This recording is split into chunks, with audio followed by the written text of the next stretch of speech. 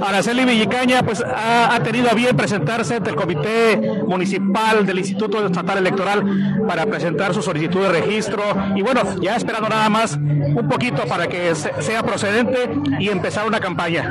Así es, muy buenas tardes Iván, muchas gracias por haber asistido, gracias a todos los que nos ven a través de tus redes sociales, pues estamos el día de hoy muy contentos, este martes va a quedar en la historia grabado en mi corazón, porque mucha gente vino a, a pesar de que estamos en, en vacaciones en Semana Santa, vino la gente, acudió al llamado y a estar presentes en el registro que pues que hoy estamos realizando de movimiento laborista.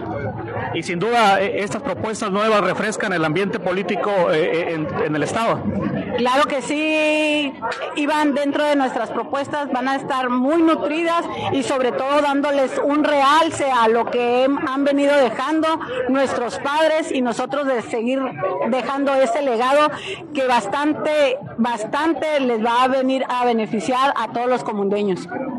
Ahí está, amigos. Araceli Villicaña ha presentado su solicitud de registro como candidata a la presidencia municipal de Comondú. Y aquí está la gente laborista del estado de Baja California Sur.